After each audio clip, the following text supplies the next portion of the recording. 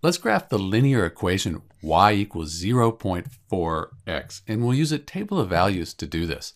So we're going to put values in for x, and then we'll figure out what y value we get, get a point, and we'll plot those on our graph. Then we'll have our graph for y equals 0.4x. I like to start with 0. You can choose any numbers, but 0, 0.4 times 0, that just gives us 0 for y.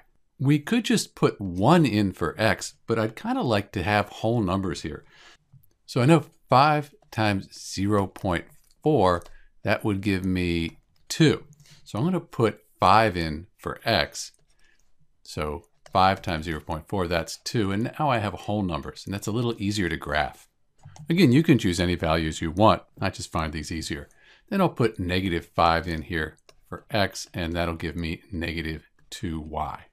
So these are the points that we'll graph for the equation y equals 0.4x. So we have 0, 0. So x is 0, y is 0. We have x is 5, and y is 2. Then we have negative 5 for x, negative 2 for y. So negative 5, negative 2. You can see we have a line there. We could have just done two points and that would work, but I like having three in case I made an error right here. So let's put a line through this. Put arrows here, show it goes to infinity. This is the graph for y equals 0.4x. You can use slope-intercept formula as well to graph this equation. If you need help with that, there's a link at the end of this video.